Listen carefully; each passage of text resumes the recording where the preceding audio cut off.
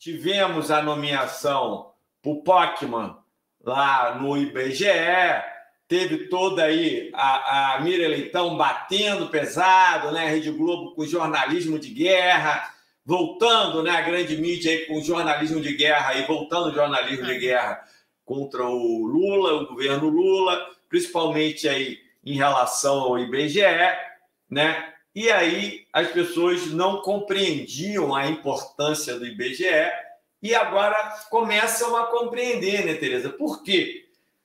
Quando você vai no médico, o que, que ele pede para você? Bom, ele primeiro ele vai me ouvir, né? Para depois ele me pedir exames, né? Ou, ou contar a sua história de vida, né? Tá pedindo dados, dados informações, é, né? isso aí. Um diagnóstico, a história, né? A história né? de vida, né? Um exame para ele a partir é. daí é, formular um, um, diagnóstico, né? É. E, e fazer o, o, iniciar o tratamento com você. É. Então, não foi à toa que o Bolsonaro ele quis destruir o IBGE. Porque o que é o IBGE para o Brasil, para a sociedade brasileira? É exatamente esse local onde vão ser coletados essas informações, esses dados né? Da sociedade, né? Da... É, se você tem informações corretas, se você tem um diagnóstico correto da realidade do Brasil, né? então qual é o diagnóstico correto da realidade do Brasil? A concentração de renda. Você vai ter que ter um tratamento adequado. Se você não tem IBGE é, para fazer essa radiografia, isso aí fica escondido, fica mascarado. O problema da educação, né? é, da saúde, então isso aí tudo com a questão da, da, da, população brasileira, que antes não se sabia nem qual era. Então o IBGE é fundamental para que se tenha as informações corretas, para que se encontrem também as, os diagnósticos e as soluções corretas para a sociedade brasileira.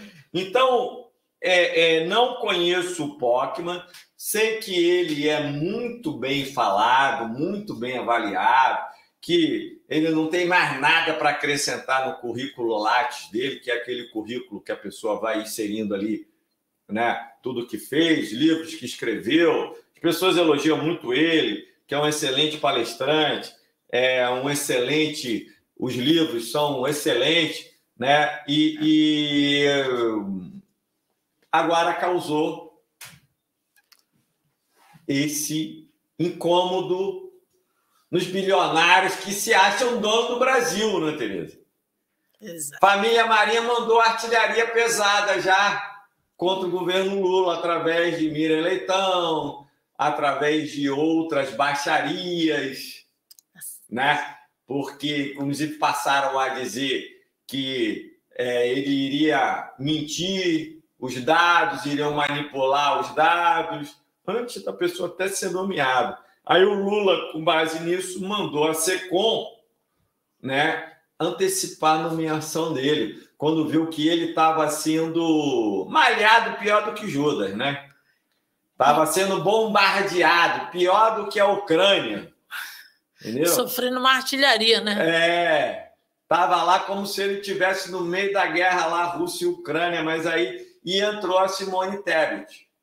Inclusive, com a, a Simone Tebet, para quê? Quando você está jogando, você está em campo, agora vamos trazer aqui para o futebol. Você tem 11 jogadores para jogar, não é isso?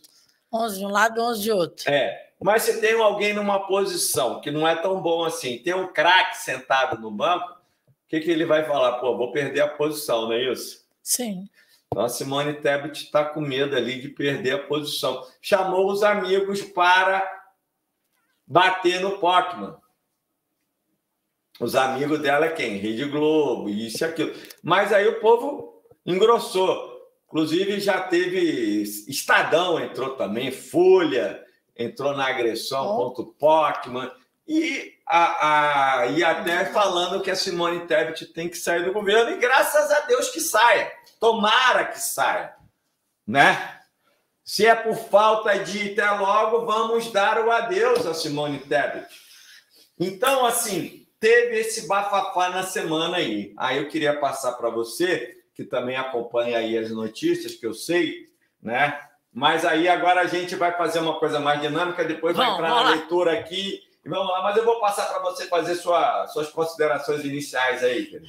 Na verdade, essa semana eu fiquei meio desligada do cenário Só político. Só na luta política. É, eu estava fazendo outras atividades, eu nem sabia do palco, não sabia que tinha causado essa, essa metralhadora contra ele, né? E, e a gente sabe que tá, alguma coisa vai estar tá incomodando essa, a burguesia, né? Porque, igual você colocou muito bem, o IBGE são estudos necessários para você fazer uma. enxergar como vive a sociedade hoje. Para você enxergar um possível planejamento familiar, para você ver onde tá, você tem muito mais dados sobre as famílias. Isso é importantíssimo. E realmente as pesquisas que foi feita na época aí do ex, né? Tinha de, falava que essa, a pesquisa nem. Não nem foi estava... à toa que ele tentou destruir é, o IBGE, é, né? É, exatamente a pesquisa não foi nem concluída. Então, um país não pode ficar sem dados, né? Porque tem as políticas sociais. Como que você vai enxergar uma dimensão de, dos países? Aí até um sem... incompetente pode falar que é competente. É, né? é, é, exatamente. Você chega lá, procura o médico, não faz exame, não faz nada. Aí ele te dá uma aspirina. E aí o problema não é da aspirina, não é com a aspirina. Aí depois você que eu quero falar, o paciente. Sim, sim, sim, é sim, você, sim, sim, sim, O paciente. É. O paciente chegou lá no médico. Não, não tem exame nenhum, não tem informação nenhuma, chega lá se queixando de dor, dor de cabeça. Ah, toma aqui um, uma aspirina para você, vai te fazer bem. Aí depois ele vai descobrir que estava com câncer. É.